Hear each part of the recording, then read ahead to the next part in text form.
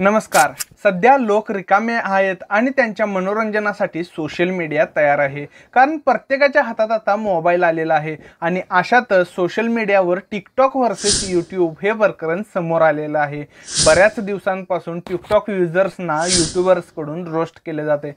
आणि हे प्रकरण आता वेगळं वरण घेताना दिसत आहे. बऱ्याच दिवसांपासून यूट्यूबर व टिकटॉकर यांचं हे शीतयुद्ध त्यांच्या फॅन्समध्येही पसरलेलं आहे. यामधूनच त्यांना समर्थन देण्यासाठी संपूर्ण सोशल मीडियावर त्यांचे फॅन्स आणि नवे युजर्स पाहायला मिळत आहेत.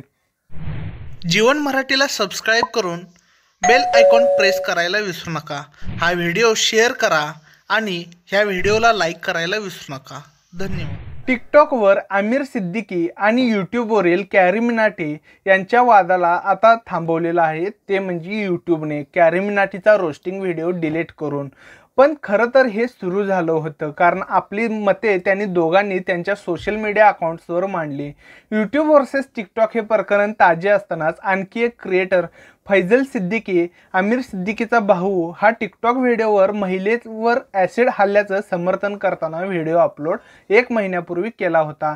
राष्ट्रीय महिला आयोगाने याची दखल घेत महाराष्ट्र पोलीस महासंचालकांना ट्विट करत याच्यावर कारवाईची मागणी केली. तर आज ट्विटरवर Twitter TikTok exposed ban TikTok in India TikTok take down असे हॅशटॅग ट्रेंड झालेले पाहायला मिळाले. भारतामध्ये टिकटॉक ह्या व्हिडिओ ॲपचे सुमारे दोनशे पाच मिलियन्सचे वापरकर्ते आहेत. त्याचबरोबर गुगल प्ले स्टोअरवर टिकटॉकची रँक रेटिंगसुद्धा घसरताना दिसत आहे. सोळा मे रोजी ही रेटिंग चार पॉईंट सहावर होती तर वीस मेला ती एक पॉईंट तीन स्टार्सवर आलेली आहे. तर आज एकवीस मेला ही एक पॉईंट दोन स्टार्सवर आलेली आहे. तर मंडळी इंडियन्स इंडियन्स फॅनचा राग पाहायला आपल्याला इथं टिकटॉकवर मिळत आहे. दुसरीकडे प्रकरण असं आहे की इंडिया वर्सेस चायना प्रोडक्ट्स हे सुद्धा बॉयकॉट करण्याची मागणी होत आहे. त्यामुळे हे दोन्ही युजर्स मिळून टिकटॉकचे जे रेटिंग आहे ते एक पॉईंट तीनवर आणि एक पॉईंट दोनवर आणून ठेवलेले आहेत. तर दुसरीकडे याला फ्लॅग पण सुद्धा केलं जात आहे परंतु याच्यावर कोणतीही कारवाई केलेली पाहायला मिळत नाही. तत्पूर्वी राष्ट्रीय महिला आयोगाचे अध्यक्षांनी टिकटॉक इंडियाला यावरून चांगलंच सुनावलेलं होतं. आणि टिकटॉकने सुद्धा त्यांच्या ट्विटर हँडलवरून रिप्लाय देत युजर्सना त्यांच्या पॉलिसीजबद्दल माहिती दिलेली आहे.